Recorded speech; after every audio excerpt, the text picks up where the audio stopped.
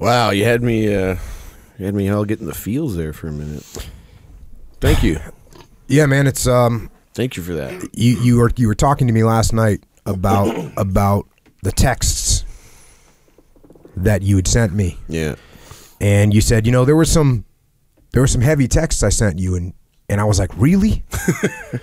and you said, yeah, and I go, did I pick up on it? And you were like, yeah. Yeah, yeah. And I, I- thought you did. Well, no, when I read through them, I clearly did. Yeah, and, yeah. And just through the responses and the conversation we were having, but that that first text that you sent me, Yeah. I was like, damn. And and then I, of course, I went and uh, went back on your social media, looked at what you've been going through, and you dropped off social media, Yeah, yeah. and so you had basically reached out and said, you know, hey brother, needs to lean a little air support over on this side, and so what happened from? I mean, just you leave here from from the last podcast two years ago. You go back to Canada. Yeah. You start your podcast. That was going great. Yeah. Great podcast. oh yeah. Uh, got a, you know a lot of people were listening to it, getting a lot of feedback from people. A lot of people were hitting me like, "Yeah, Jody's podcast is great." So you're doing that. Yeah. You're working on the other book that just came. When did that book come out? October. Last October. Last October. Hit the shelves bestseller running. boom. Yeah. So but I was already I was already hadn't done a podcast since May. Um, actually, uh, last podcast I did was with some guys from CanSOF uh, that started their own uh, company, Tactical Beaver. That was like supposed to springboard us into the next podcast. We had some other guys coming in, some other CanSOF entrepreneurs, and we were starting to like kind of shift to supporting veterans and their business opportunity because it mm-hmm. seems like we're all becoming entrepreneurs or the guys that will employ our friends and things like that. And that's what I want to focus on is how do we help the troops after they go through what I went through because I had zero plan. Nobody had really dealt with this stuff in Canada since Korea. Really, we had some guys in Bosnia and that, but the, the, the chain of command and the and the government frankly lied about the fact that Canadian forces were in combat uh, in in the in the former Yugoslavia. That all aside, the point is we were we were trying to lead by. I was trying to lead by example. Luke, my my echo, uh, Luke was uh, was trying to help out, and he was doing his best, and he was seeing the wheels fall off the Jody Mitic machine, and he kept trying to like put him back on and gun tape them, and um, just do his best though, because him and I, it's not like we're like close buds, like we're not like besties since we were kids or anything. So he's trying to keep his distance and keep that like Jody Mitic podcast is Jody Mitic's, and I'm I'm Luke. I could tell too, and I kept telling my friends that you know that we're close as well. Like I can tell he really wants to help, but he's not sure. And then one day, um, so I had a kind of a perfect storm. So I moved out of my house in October last October 16. And you know, I'll just get that out of the way. That was the beginning, really, of things going south. And it's not because uh, my ex and I are enemies by any stretch. We're still friends. We have two amazing kids. We had amazing life. It's just sometimes, uh, you know, sometimes units don't mesh, right? And that's just kind of the way it went. You know, we both have different visions of our future and and things like that. So, but then you kind of gotta put on the the face for the public, you know. Um, and so I stopped going to the gym at that time. I stopped seeing my therapist just because he's on the other end of town and I can't be bothered right now. I got too many other things to do. Um, and even when I was here, like you said, you saw, I forgot about that walk. And you're right. I remember sitting on the wall at, Yeah, on the sea. was it, is it, is it Ocean Beach? OB? Yep. and I, I love like the Amer- Americana. That's what we call it in Canada. Americana history is amazing mm-hmm. to me, and the California beach. Yeah. Each beach has its own history, and the in the group. I love, and you're talking about it. and I'm looking around at all these buildings built in the 40s, 50s, 60s, and I'm, and in my mind, I drove Route 66 to get here. Mm-hmm. Like I love the history of this of this country so much. And then I was on Route 66 until I saw the Pony Express trail is to your left, and I went, okay, turned left, and I followed the Pony Express trail down into Arizona. Um, but even then, uh, like you said, like the pain was really hitting me, and I'm terrified of the pills because of becoming addicted. And so, okay, what do you do for pain if you're not taking pills? And I'm not a weed guy. Like I know I talk about it and everything, but I don't know anything about it. But I know a lot about Crown Royal and Jack Daniels and uh, and Captain Morgan and I are good buddies. And uh, so I found I went from having a beer after work, or in my case, uh, I like cider. I know I get made fun of for it, but booze is booze, boys. You know what I'm saying? Um, oh, I can't wait to have that cider after work or that that uh, rum and coke uh, when I get to the get to the pub with the with the guys. And the guys now, the guys that you're talking about now are your fellow people you're working with in the government. a lot of them are politicians, but also just some of the boys that because Ottawa is like the biggest military posting in Canada. Oh, okay. But also all the CanSOF are in that area. Got it. So I got you know buddies that are coming back from deployment in Iraq, uh, on and off, and they come in. They're home for a month. They're gone for three. Home for three. Gone for a month. They, so whenever you get it, you hear from them. You run out, and of course they just got back from the sandbox, so they want to have a beer or 2 And you know, and I'm like, okay, because it might like I'm going, going, going. I get up at six, put on my suit, go to work, uh, come home, and I'm in pain the whole time. And from the pain you saw to October 2016, and then come spring 2017, now it's just, it's reached points where I wouldn't, but I was thinking about drinking before work. And it's not because I'm like stressed out, and I was stressed out, but it's more like, oh man, like my, because I, you, there is a deadening of the of the pain for sure. and it's like, well, Uber ride is only twelve bucks to get to work, and this and that, or my staff drives right by my place to go, so I could have her pick me up, and that discipline kept me from doing that for a while, and then I had a, a trip to Oregon to go shooting at the Leupold Shooting Academy they opened there. That was great, but before I left, I think I took my legs off for a solid three to four weeks and I was in my wheelchair, and that kind of sucked because my car isn't set up to drive. You know, my place I got, which is like a block from the house, so it's not that far from the kids and and the ex and everything. So you know, I'm seeing them a lot uh, anyway and stuff, but nothing else in my life is set up to live without legs. Even like where I keep my coffee in the kitchen is for when I'm on my legs. So I'm in my I'm in my wheelchair the first day, and I'm like, oh, I don't really make coffee when I'm in my wheelchair, do I? Oh, tongs, right? So I get tongs out of the cupboard, reach off. I can do this, whatever, adapt, and then it's like, okay, time to go to work. Oh shoot! And then I did call my staff, and she picked me up, or I took an Uber. But then I went to Oregon, and that was a week. Like it was about uh, seven, eight, nine, da nine days on my legs straight excruciating pain the whole time. Whatever was happening, the doctor, I finally went back and she said that like my skin had reached a point where it couldn't regenerate fast enough. So it was just breaking down.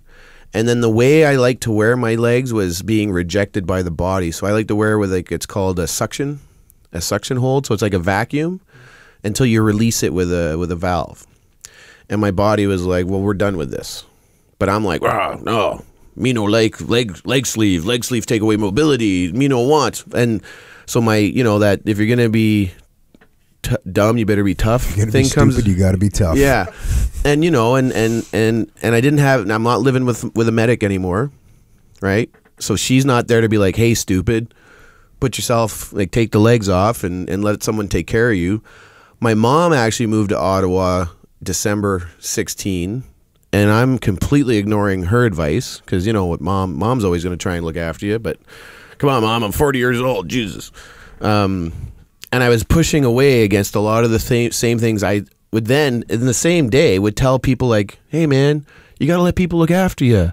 You know, cuz I get texts, I'm probably same as you, right? I get texts, BBMs, I get DMs on Instagram and and Twitter and Facebook on my fan page and the and then the podcast page. Uh, hey, what's going on? Like, I need help with this. And I'd be like, don't be afraid to go get help. Don't be afraid to reach out. Those around you love you. Let them look after. And I'm completely ignoring any of this advice myself. Because I'm like, I kicked Oxycontin when I was 22, I think, and on deployment. I stopped smoking just because I wanted to. Uh, I drink on the weekend. I don't need to drink, but meanwhile, I'm sitting there checking these messages while having a drink. I know. And I look back and I'm like, I'm so stupid. But it, I guess sometimes you got to go through. There's a reason why you go back to basics. Is there is there like in your mind when you're going through that? Are you thinking to yourself, I could stop if I wanted oh, to. Oh, every I day. just don't want to. Yeah, I don't. It's not getting in the way of anything. I'm still functional. I'm mm-hmm. still at work. I'm still doing. To me, my main job was what I was elected to do. Right. And I have a four year. In my mind, it's a. It's a, it's kind of like being in the army where you're on four year four year commitments. Right. So I'm like, well, right now I have a four year commitment. I'm not drinking at work. I mean, at some point I did start drinking at work, but in politics and business, as you know, like sometimes after lunch, instead of going back to the office, you have a beer. And you're still working. Mm-hmm. You're still talking about issues. You're still getting, like, I used to get a lot of advice from, I shouldn't say used to, I, I get a lot of advice from the other more experienced politicians because that's what you do. Mm-hmm. And we all would have a beer or a cider, and then they'd go back to the office, and I'd stay and keep on the phone, and yeah, I'll have one more, you know. And then another group of guys would come in from like, oh hey, uh, you're still here, like you know, so and so's already back at City Hall, What kind of what kind of drunk are you? happy. I'm a happy-go-lucky. I get a little loud, but it's not like I'm like, hey, what's going on? Blah, blah, blah. Um, but they're you know anyway. Well, I know what you're. No, asking, no, no. I'm actually just asking. It, I'm- like you could you could still call on the phone and be like, Oh. "Hey, buddy," blah blah. blah. You know, some people when they drink they get angry. Some people Yeah, when they drink they slur their speech really bad. Yeah, I so you got all these different You types can- of you know drinkers. Yeah. When I drink, I basically just like am more of Jocko. Yeah. Yeah. Yeah. I'm more Jody. Yeah. Yeah. For the most part, I do slur, but even I could, I'll be like, ah, I'm slurring my words. All right. Okay. Well, hey, I'll, I'll drink some water for a minute and then I'll get it back or I'll have a coffee. Um, and I'm good. I'm no, I'm normally, and even when I'm like, I rarely get fall over drunk, right? If ever, but just let me rewind. I know it's a long answer to a short question, but so May I get back from Oregon and I'm just like dying. And then I had to go real quick down to Albany because of part of my job with the city is I'm the sports commissioner and I'm desperately trying to get the CrossFit games to bring the Eastern regional games to Ottawa because I just think that'd be awesome to have in mm-hmm. Ottawa. We, you know, we got the UFC in, in Ottawa. I was a part of that, so I was really proud. And I said, when I got the job, I said I want to do two things in the four years: get the UFC and get CrossFit Games. So I'm still trying to do the CrossFit Games. I got less than a year to do it, but I think we can do it. But anyway, that's There's a lot of people that uh, participate in CrossFit that listen to this podcast. Maybe yeah, well, a little I've met, movement. I've met a lot of them, and you know what? The CrossFit guys are crafty. And Albany City itself, they don't want to lose the CrossFit Games, so they knew I was in town, and they Hmm. started to sweeten in the deal, if you know what I mean. And the CrossFit Games go, well, Ottawa's offering us this, Albany. What you got? hey, it's business. I get it, but you know what? I'm coming back. Um, I got back from that trip. That was about a four day trip from Ottawa to Albany and back. And when I was here with you guys, I didn't bring a wheelchair because that's what I meant by I crawl around, which is Yeah. why I could stay at your house, but I don't want your kids seeing a grown man crawl to the bathroom. And it's not because I'm above crawling. It's just it's one of those personal things in my own space. I'm not above it, and around like loved ones, okay so that's why you want your own space and even uh, and stuff like that. So even when I visit my dad, I get a hotel room. You know, my dad loves me, and it's, I'm not. But it's also my space. Or if I want to crawl around naked, I can. Right. And so anyway, that's why that. So then I get back and I'm I take the legs off, and I just I can't put them back on. I look. I would like. I don't know if I said it on your show last time, but I have mornings where I look at my prosthetics. And I'm like, oh, fuck. Sorry.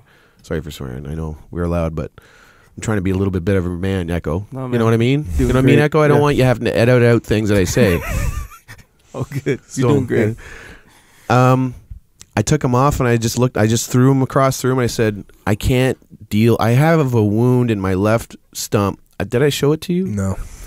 It's been there since April of 14. And it happened. I remember the second it happened, my brother and I were doing an amazing race thing post show in Alberta. And we did a little like, you know, go, hey, Jody and Corey from Amazing Race. Woo, we got a few bucks for it. And we gave a speech to uh, some con- convention. And then I was walking down the airport to to the plane, and I felt something go on my foot. It's and it's like having a hot spot when you're on a ruck march or whatever. Except I can't really shift what part of my foot I'm walking on. I, I just can't. Mm-hmm. And it went from a little tiny like break in the skin to something the size. In Canada, we have toonies. It's mm. two dollars mm. You, I know you guys still use the like dollar a fifty bill. cent piece It's or like a something. 50 cent piece and then back now it's down to like a pinprick of scab but that's what are we talking now we're uh, almost four years right and i had to mitigate that the whole time and it was painful and i got a couple inf- i got two infections in, in the four years from it. But that's where i was like that's it. I need to let myself heal. I need to like let my body regenerate except now from that and it took me until fall late fall to realize that when i did that i might as well have stepped on another landmine.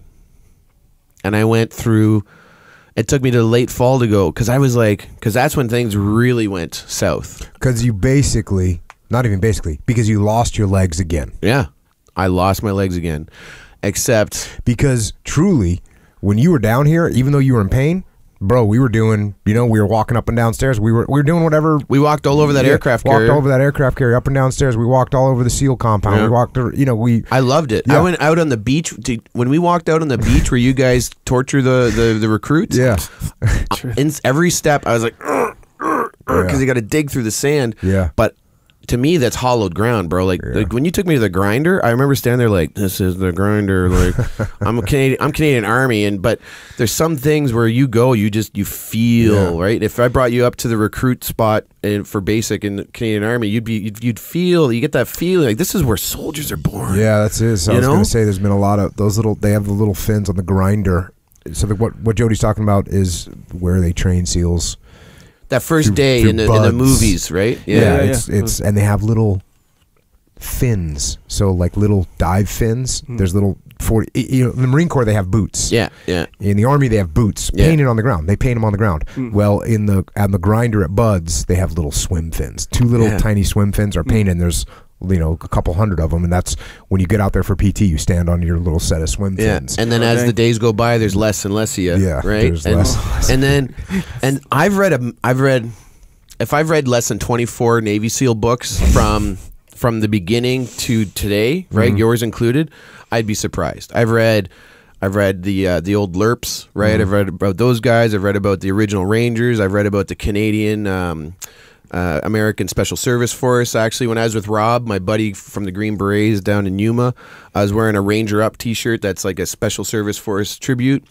You know, to me, like that's our history. That's the history of, of of of SOF in Canada and the U.S. and and and then you know, and BUD/S and the Green Beret or Navy SEALs and the Green Berets were kind of created by Kennedy at the same. Blah, see, look at me. I'm a, I'm a fucking nerd when it comes to this stuff. so you to know, me, you know the. Uh, I haven't been there, but I've heard about it because a lot of my friends have been there. The Aussies, they have a parade ground like Yeah. in the middle of their compound. Have you been there? no, I've never been to Australia. They're the the only time they use this parade ground apparently is at memorial services for their men, Yeah, and I believe that. no one walks on it. It's just in the middle of their compound. No one walks Yeah. on it. Well, in Canada, we have a similar thing where if you're on the parade square and it's not parade, like you're going on extra duty. Mm-hmm. Like if the sergeant major catches you on his parade square, a you better be have a broom in your hand, or you better be on parade. And if you're not, like, because it's because it's usually like, oh, if I go from here to there, it's right across the parade Right, square, but it's the short route. Yeah. and it's like one of those tests, right? They're the new guys. In the hallways of most units, the the unit uh, emblem is in the floor, and and there's one of those sergeants that just has nothing better to do but to stand there and watch and see who steps on the. Who, and even if you're like family of one of the troops, what are you doing on my on my hat badge? And you get the knife hand. It's awesome. But when I was here, I wasn't gonna not go see the grinder because of my course. fucking legs hurt. Yeah. Don't be a pussy. And I, I'll be honest. That first night after you dropped me off, I had a couple drinks to ease to ease the day. Like when we left your porch and you dropped me back at the at the hotel. yeah. Um, I I went and I had a few drinks at the hotel bar, you know, and I and I I was actually toying with talking to you about this stuff back mm-hmm. then because it was bugging me then. And I'm like, okay, what do I do? Who do I talk to? Jocko's the kind of guy. Echo is the kind of energy you want to be around, and like you know, and that's one of this part of this this trip for the last 10 days I've been on is kind of like refining so a lot of my Canadian and American friends that have kept me on on the straight and narrow mm-hmm. Or as much as you can for Jody Mitic and um, Oh, bro, it's a constant wrestling match, right? The little evil and the good angel, except a lot of times they high five each other and go, okay, let's see what happens. Uh, and, um, and yeah, man. So when the legs came off, so no car. So now my mommy, Uber, or my staff, or my ex are driving me around. All happy to do it, all not Yeah. like holding it against me, but at the same time, man, I, I'm out of sandwich meat. Hmm. Okay, now I need to go to the store. Hey mommy can can you drive my car and take me to the store? And and then that's i kind of turned my hat backwards and kind of like you know tried to like you know cowboy up and, and do it.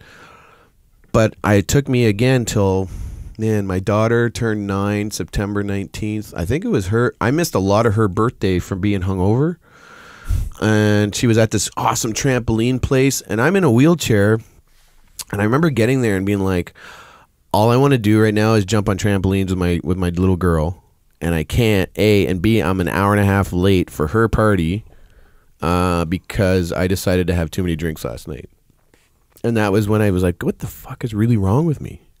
Because I couldn't really get it, and then What is what is the escalation? Right. So you were down here with me. yeah, You know, we worked hard. We because it's it is you know doing a podcast like when we, when we, when we do sit there and talk to each other about intense stuff for five Yeah, hours. yeah. Then we went and ate. We stayed up late. We get up early the next day. We go do all the stuff that we did. yeah. And you get done. You have a couple drinks, right?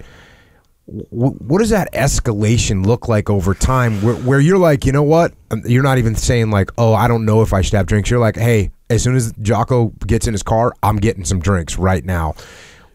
Is Yeah. it something that you recognized? Is it something that you just Well- you just said to yourself, you know what, this is gonna make me feel better right now, and I gotta go. I gotta. I don't do remember exactly what month I was here.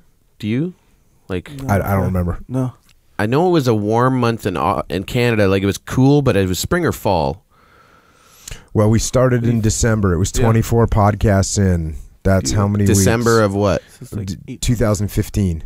So it must have been spring for, fifth, uh, 16. Yeah. yeah, spring summer. Spring 16. So, because I remember in Canada, it wasn't cold, but like we were wearing, still wearing down vests with with hoodies and stuff uh, when I was doing my quick podcast before I left. So at that time, I was, it was just the pain was just kind of like a couple drinks before bed, right? But even that was bugging me.